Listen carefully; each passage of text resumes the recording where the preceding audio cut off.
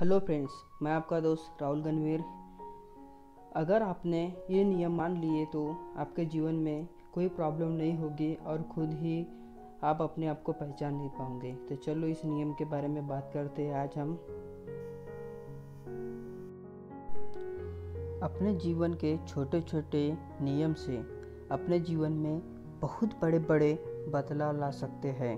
छोटे छोटे रूल इससे अपना बहुत फ़ायदा होता है। जिसके जीवन में कोई रूल नहीं, कोई डिसिप्लिन नहीं, उसका पूरा जीवन कन्फ्यूज़न से ही जाता है। और ऐसे इंसान को कुछ समझ नहीं आता कि उसे क्या करना है। यही रूल ही हमें एक अलग ही राह मिलती है।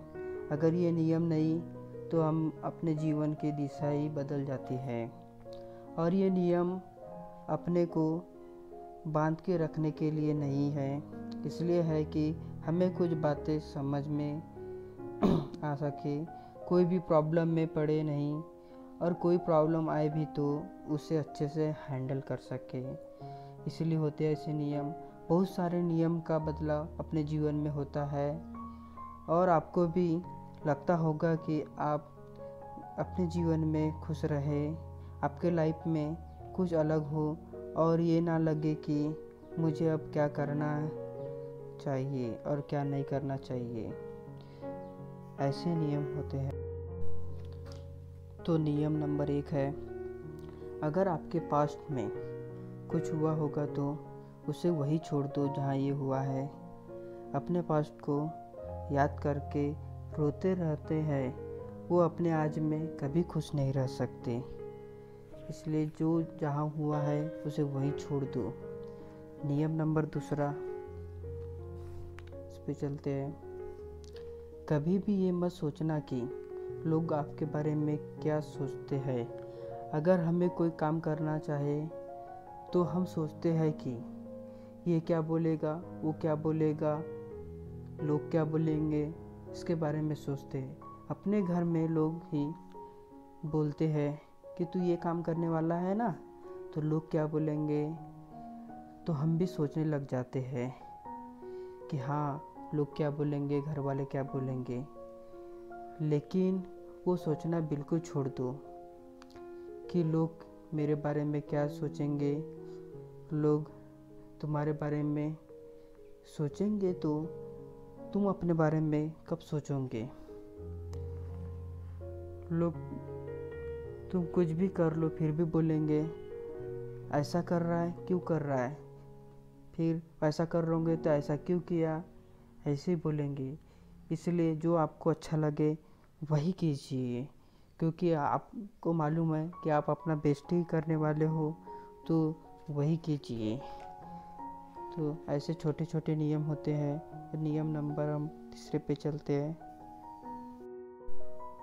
कभी कभी हम सोचते नहीं हैं और ऐसा कोई हो जाता है।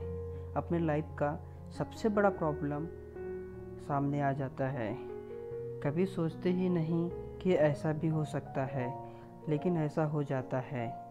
और ऐसे समय हम पूरे तरीके से टूट जाते हैं।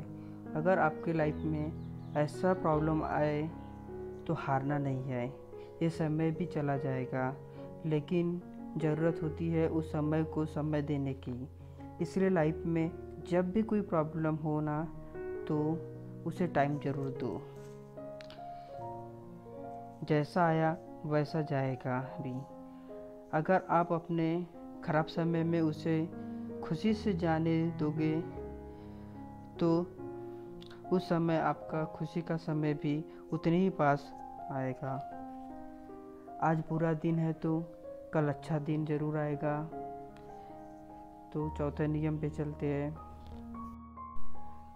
आपको जो कुछ करना है, जो कुछ पाना है वो ठान के रखे हो, ठान के मत रखो। उसे कोशिश करने के बारे में भी सोचो। अगर आपने वो ठाना कि मुझे ऐसा करना है, कब करना है, ये आपको भी नहीं पता है। और मैं करूँगा करूँगा, ऐसा ही मत करो। स्टार्ट करना है, न तो अभी से करो। समय देखते मत रहो कि टाइम आएगा और मैं शुरू करूँगा। अगर आपको लगता है कि मैं कर सकता हूँ तो अभी से करो। अपने ऊपर पूरा भरोसा रखो ट्रस्ट करो और चालू करो।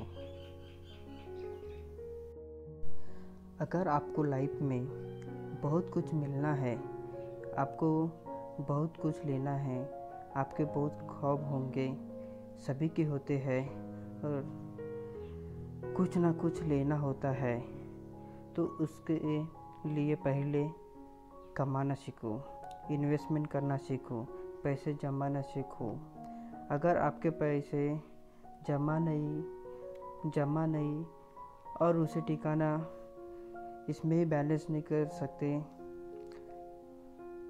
तो आप पैसे के मामले में कभी भी खुश नहीं रह पाओगे। इसलिए पैसे टिकाना से ये सीखना ज़रूरी है कि किस प्रकार से हम बैलेंस करें।